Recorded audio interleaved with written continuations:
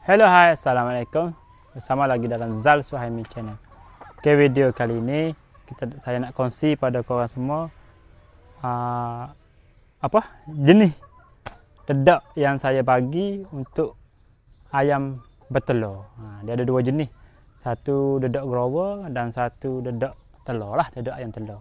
Iaitu dedak gold coin 505 Jadi yang sebelah sini Ayam yang tidak bertelur lagi Berapa umur? Yang sebelah sana bertelur So dedak tu ya saya saya akan bagi. Ha, hari ni saya dah beli dedak tu satu guni. Jom kita tengok. Okey, jom layan video. Okey, jom. Kita ambil dulu. Dedak ni dalam kereta. Kita akan angkat pergi belakang rumah.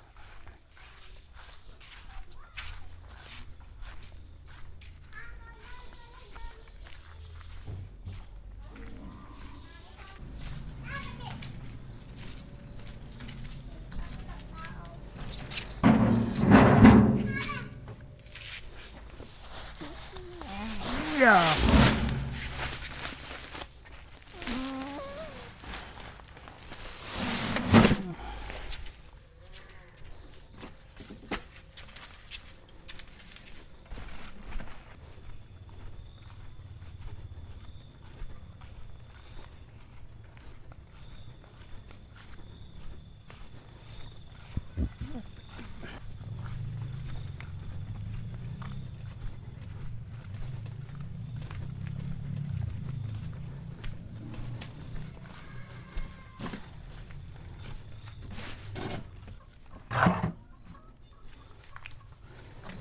So inilah dia geng. Dedak yang kita guna. Itu Dedak 505C Makanan puyuh penelor Okay Ini untuk puyuh lah Tapi Tanya Orang kedai tu dia kata Sesuai lah Untuk Ayam pertama je. Ha, Ni kiranya Dedak special dia lah Untuk Dan telur Ha. Kelebihan dedak ni geng. Kalau kita tak bagi uh, dedak ni dekat ayam. Ayam tak akan bertelur. ha, itu dia punya kelebihan ni. Kita tengok eh, dedak ni. Apa dia yang ada dalam dalam dedak telur ni. Biasa kita beli makanan lembu. Rasa dah mahal dah. Tapi yang ni lagi mahal geng. uh, harga dia 143 untuk 50 kilo. Bedak grower ni lah. Okey.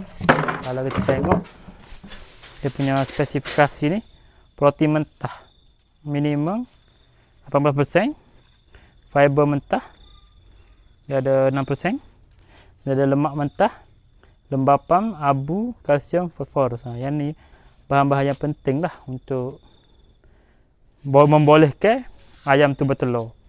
Ayam ataupun apa? Ha, puyuh lah bertelur. So macam mana ni kita nak isi ni? Maklumlah tak pernah lagi beli kan.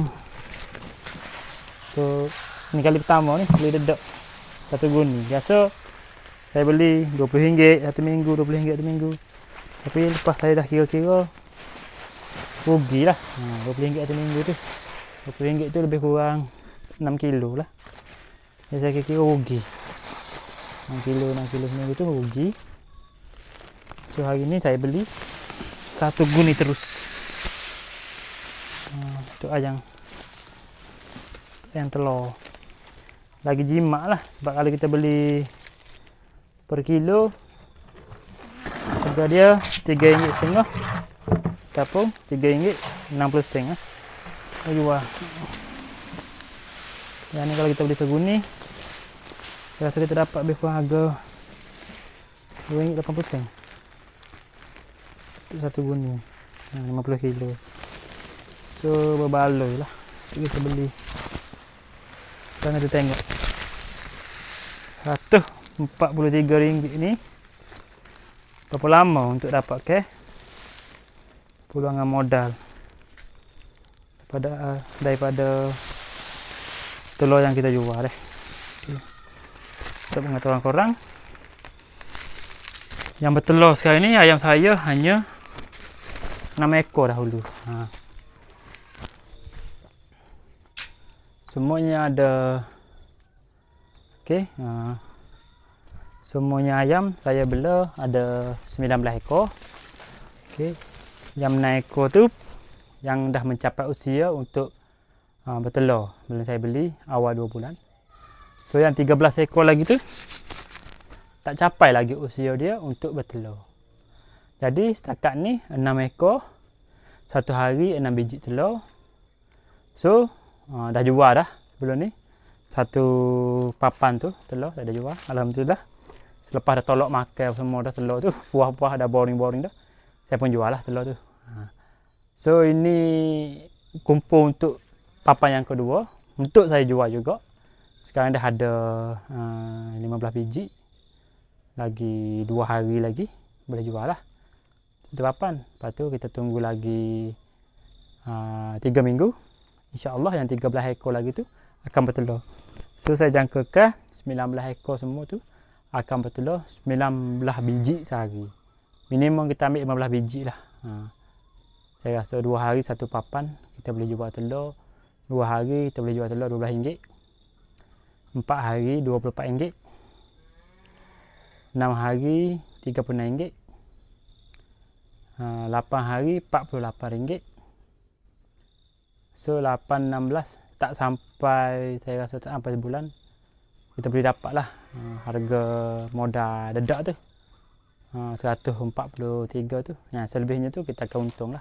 Untung pun tak untung juga untuk nak cover yang kita dah makan bagi makan dia sebelum dia membesar.